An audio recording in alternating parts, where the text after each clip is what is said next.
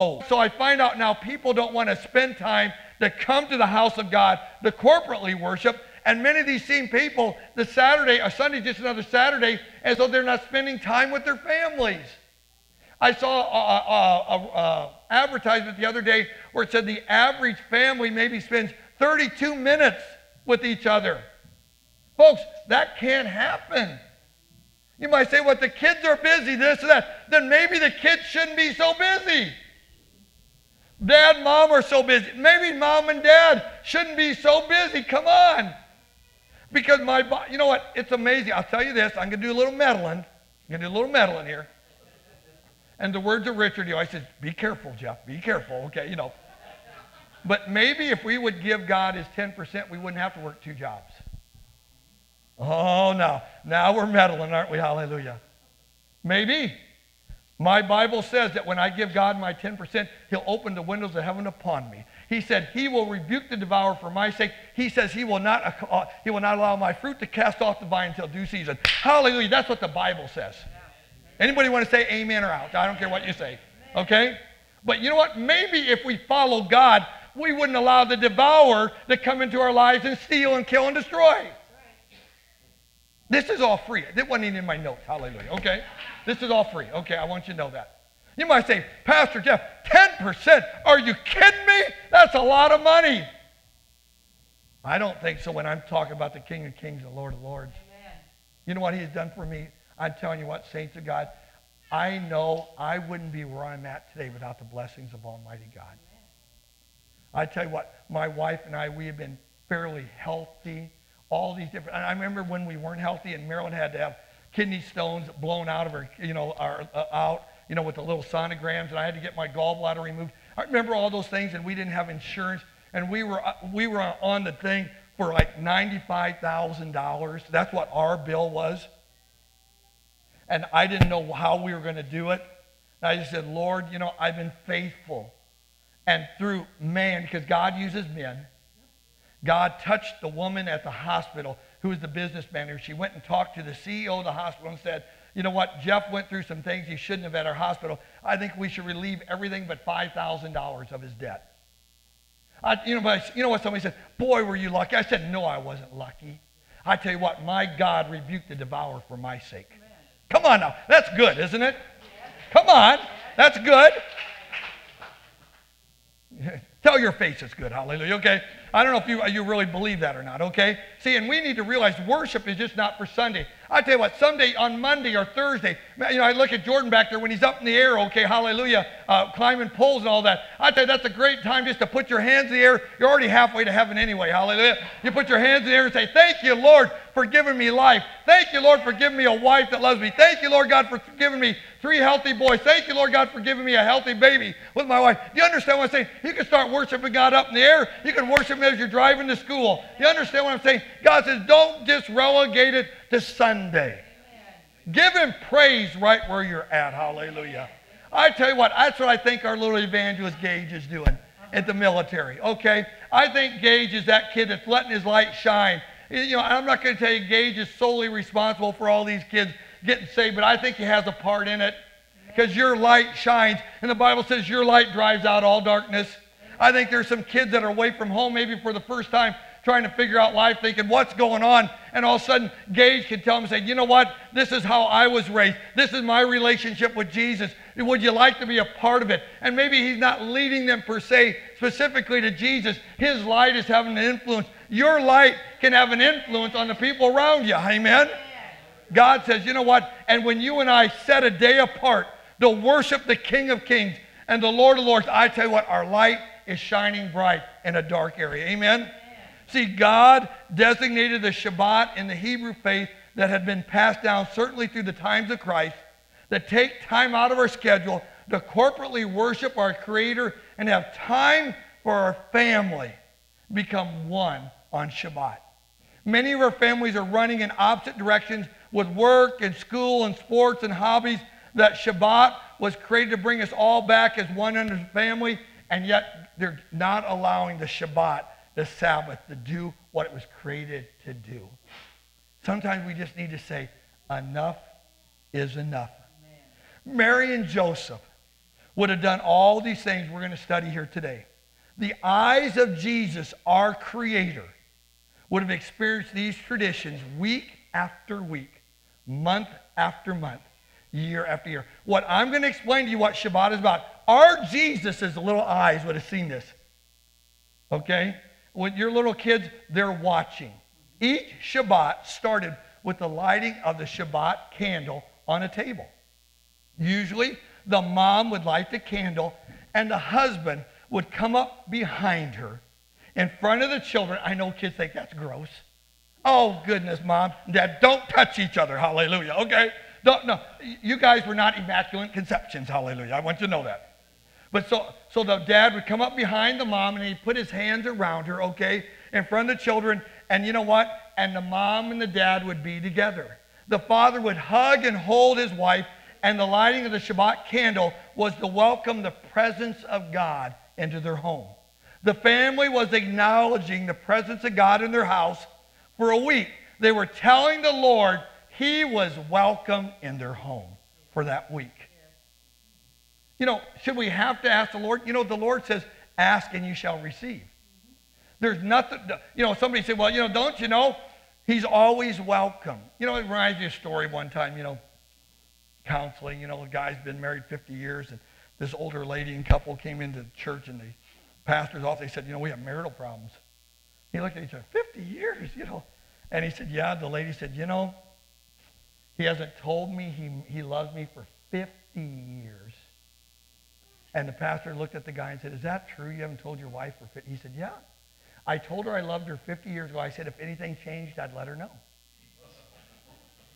That doesn't work, guys, okay? That doesn't work, okay? You need to tell your wife you love her. Jesus would have seen Mary and Joseph do this every week. Jesus would have seen his mother get ready to light the Shabbat candle and would have seen his, his dad come around and grab his mother and show about the love and invite the presence there. When we invite Jesus, the light of the world, into our homes, we're pushing away strife and inviting unity into the home. Come on, don't we need that? See, that's what a Shabbat is about. We're driving strife away and we're inviting unity in the home. That's what lighting that Shabbat candle is all about. We're saying, Lord, your presence, your unity is welcomed here. With the husband holding his wife, he's now saying, We may have argued up to this point, we may have had our issues, but no matter what has happened up to this point, we are having a rest. We're having a rest, a Shabbat from our arguments, from our strife, from our disagreements, from children fighting with each other. This all has to stop right now. Right now. Because the wife has lit the Shabbat candle and the husband is holding his wife. We've, come, we've, we've really gone a long way from this, saints of God. Whatever is threatening to tear us apart, the mom and dad are saying, we're going to light the candle of his presence and welcome God into this place. Kids, maybe you've seen mom and dad fighting this week, but you know what? We're taking a rest from that. Whatever has been trying to tear us apart, we're going to light the candle of his presence, invite him and his presence and his unity to come in, and we're going to take a, a rest from all this junk. You know what I talk to people? You know what the first thing they almost always tell me is? They're so tired. Well, you know what? I think about this. You know, it's, didn't Jesus say in Matthew, he said, Come unto me, all you that are heavy laden and burdened, I'll give you rest. For my yoke is easy and my burden is light. He didn't say, Go and watch as the stomach turns. You know what I'm saying? Or any of the other things. Okay, you know what I'm saying? He said, Come unto me. See, Jesus says, Come into my presence and you can have a rest, a Shabbat. And yet, many times, Jesus is the last place we go. You know, maybe you're having a tough time financially. God says, You know what? Come unto me. Don't think you got to go out and work three jobs because then you're never home for your kids and for your wife, and it just complicates things even more. Come unto me, and I'll give you rest. That's what the Shabbat is all about. Marriage isn't easy. But marriage is holy and it is God's plan for every family to be blessed. Marriage isn't easy. yeah, I, I jokingly tell people, you know, love may make you blind, but marriage sure opens up your eyes. Okay, you know what I'm saying? It's the truth. Marriage isn't easy, but I know this. God calls it holy, and He says, I want to bless every family. Read Genesis 12. At the very end, and, and God says, and all the families of the earth will be blessed because of Abraham by blessing the Jewish people. See, the Shabbat is rest from problems. The Shabbat is rest from hurt, from misunderstandings, from arguments. This is evident as the husband holds his wife in front of his family. See, they're giving, folks, that's what our children need. They need to see mommies and daddies loving each other. Do you understand? And when, when that husband comes around and grabs his wife in front of his kids, those kids are saying, you know what? Mom and dad are united together. And you know what? With our school teachers, and we have counselors here, man, kids have such a tough time nowadays with families being split and, and maybe relationships strained. And I bet you a lot of these problems could be solved if kids could see their moms and their dads loving each other. Amen. And I think that's really, really important. See, no, no matter what had happened earlier, the husband was to embrace his wife, and they together were to invite the presence of God into their homes. It was customary on the Shabbat not only for the husband to embrace his wife, but to give, get this, but to, uh, but to give a Shabbat or rest of any strife from the home. But also, ladies, you're going to love this. Are you ready? The husband was to buy his wife a gift every Shabbat. And all the ladies said, all us men said, man alive, we're in trouble, aren't we? Okay. Can you imagine that, ladies?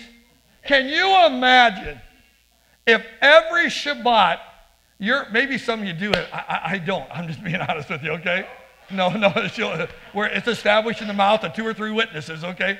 But can you imagine what would happen, guys, if you and I would bring our wives a gift every Sunday. Just to say thank you for what you do. Can you imagine what would happen there?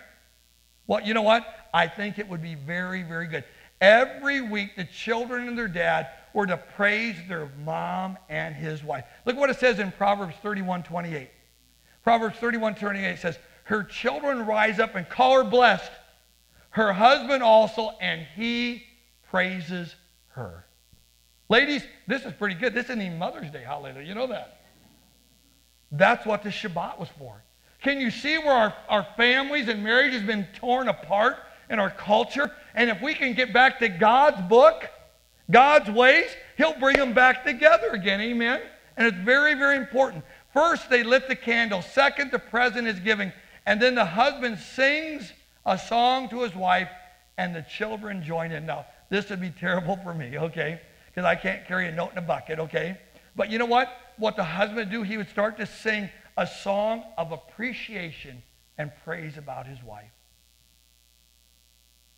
I, I, just can't imagine, and, and, unfortunately, I haven't done this, okay? I'm not going to tell you. But can you imagine what a marriage would be like if every week daddy would come up and give his wife a hug in front of the kids? They'd invite the presence of God into their life. If they brought like flowers or candy or jewelry, and then he would sing a song of appreciation and praise to his wife. My goodness, the small families at Christ the King might have four kids. Hallelujah. Okay, you know what I'm saying? Not the large ones. Hallelujah. You know what I'm saying?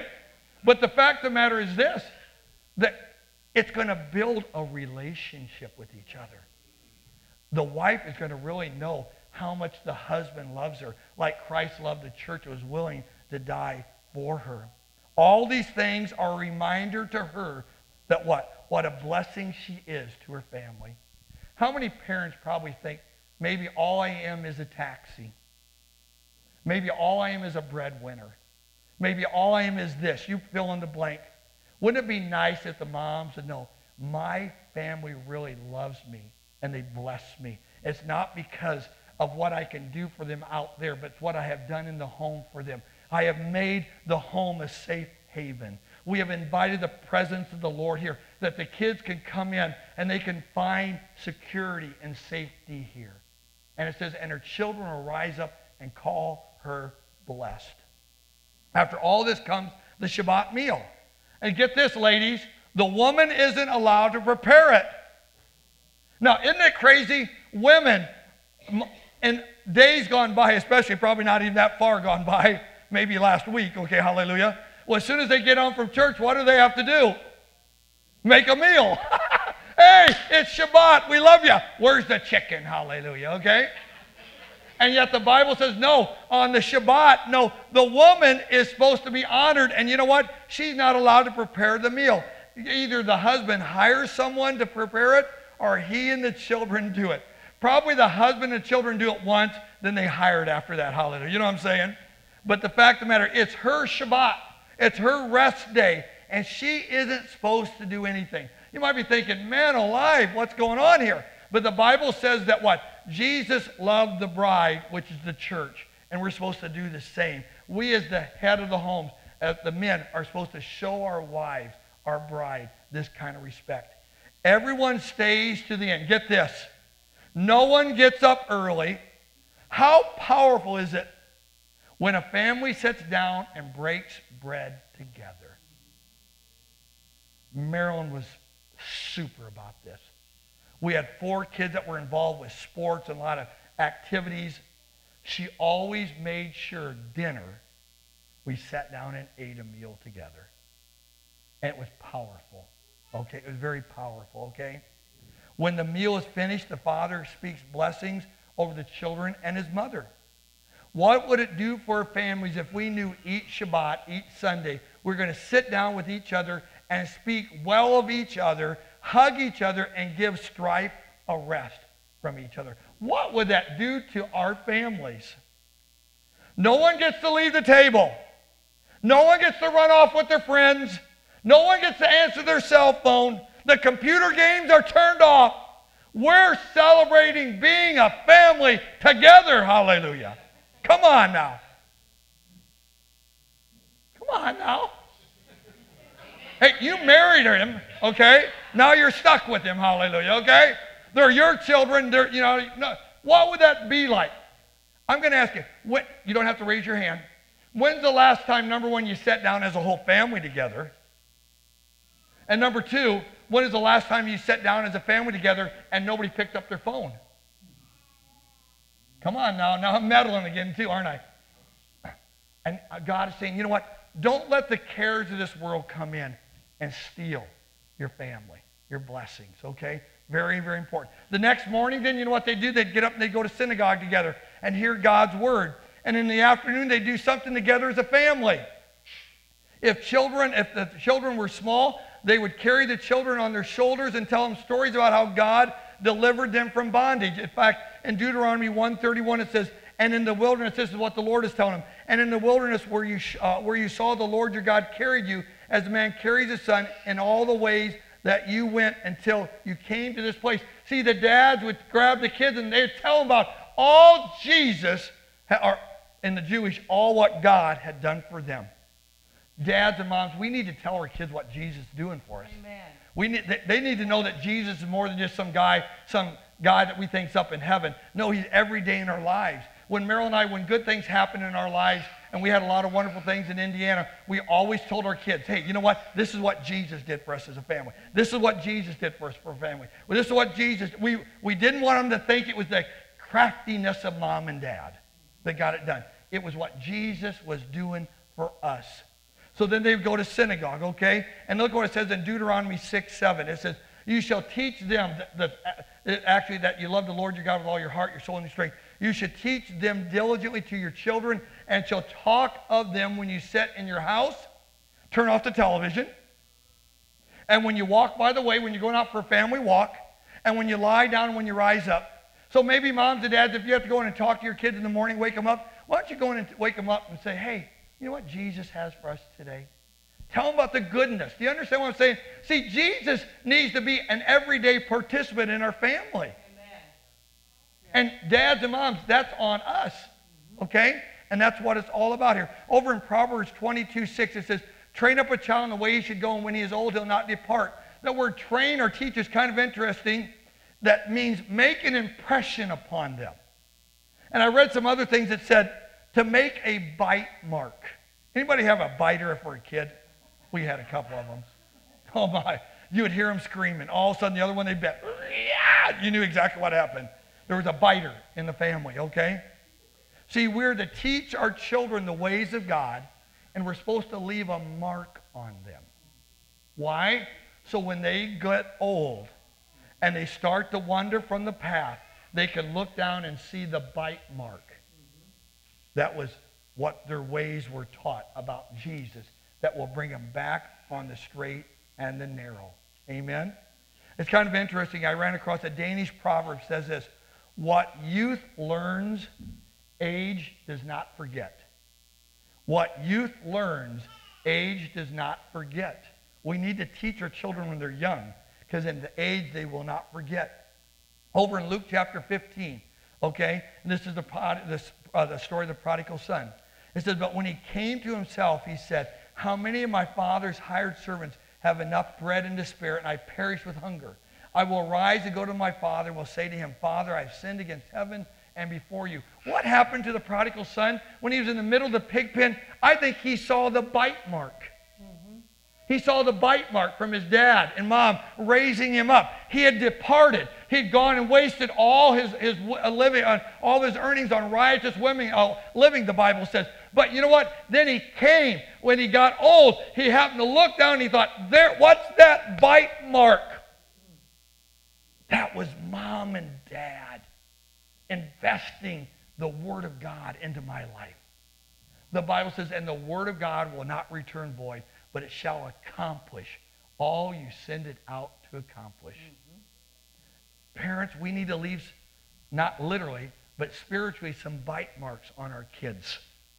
They need to see growing up in the family. You know what? I remember maybe mom and dad, maybe they had arguments, but you know what I remember? They came together, they asked for forgiveness, they loved each other, they hugged each other. They're leaving a bite mark on my, in my life. How do I deal with situations in my life? Do you understand? They're teaching me how to treat people with dignity and respect. Those are bite marks that God wants us to train our children in. In Revelation chapter 3, verse 20, these are the words of Jesus. He said, Behold, I stand at the door and knock.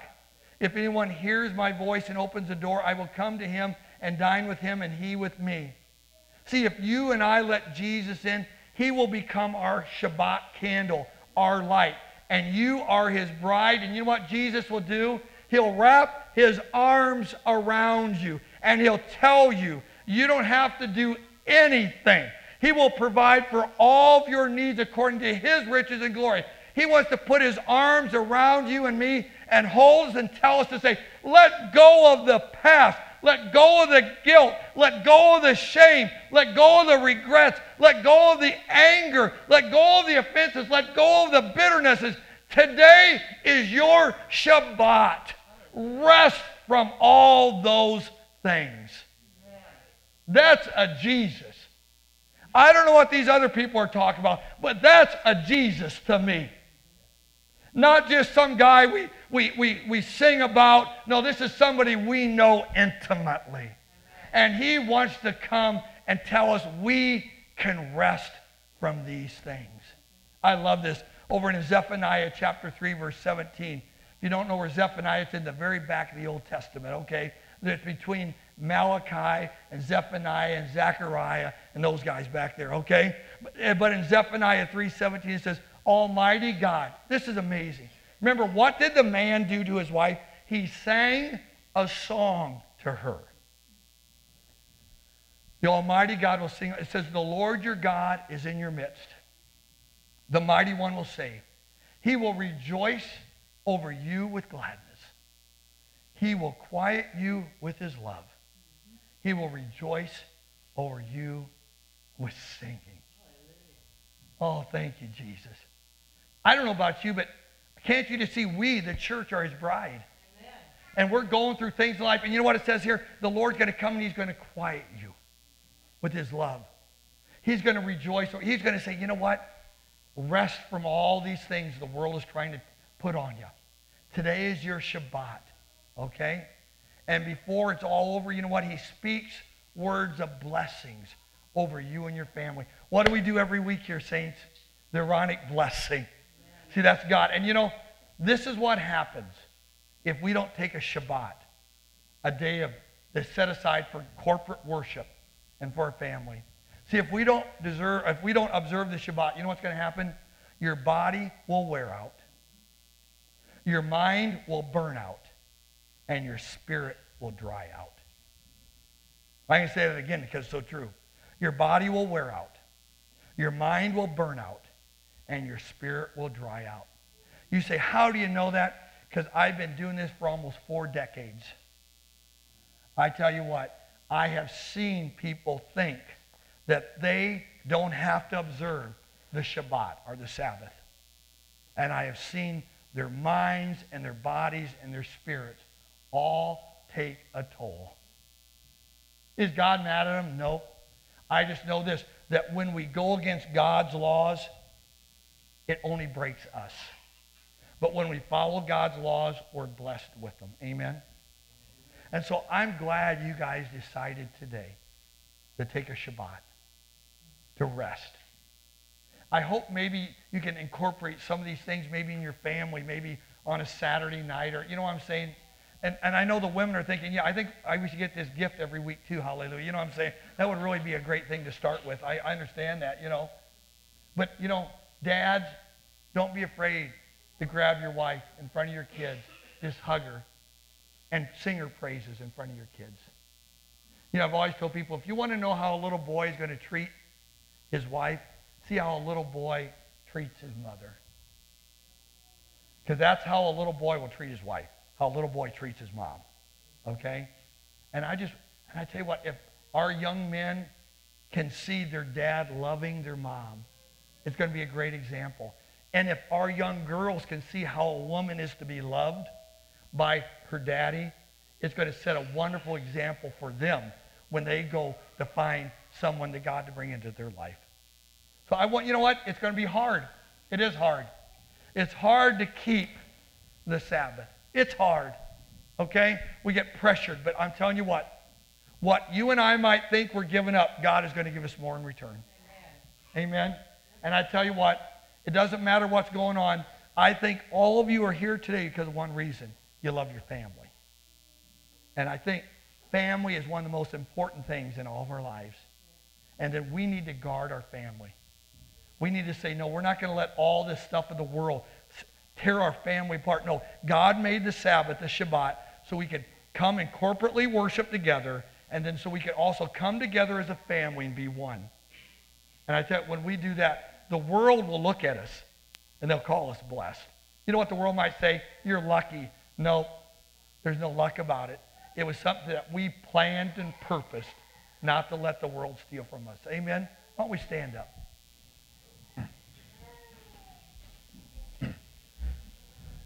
Thank you, Jesus. Lord, thank you for giving us a day to cease from our work, Lord God. A day that we can set apart to corporately worship you. The other six days, Lord, you want us to individually worship you. But on the seventh day, you want us to come together and corporately worship you, Lord. You want us to bring our, not only a, a worship you, to you, but Lord, but bring our families together. We want to see husbands and wives be brought together. In fact, in the book of Malachi, he said in the last days that he would bring the hearts of the men and uh, hearts of the children back to the fathers, and the hearts of the fathers back to the children. See, our God is in a restoring business. And he's given us the Sabbath, the Shabbat, to restore. Are we maybe going to lose out on a few things? Maybe. But I tell you what, it's all worth it when your kids are older and they call you back up, tell you thanks, Dad. Thanks, Mom. Or calling up and say, what what are you doing, Mom and Dad? Just haven't heard from you for a while. Just want to talk to you. Yeah, sometimes as parents, our rewards maybe come 10, 15 years down the road. I understand that. But you know what?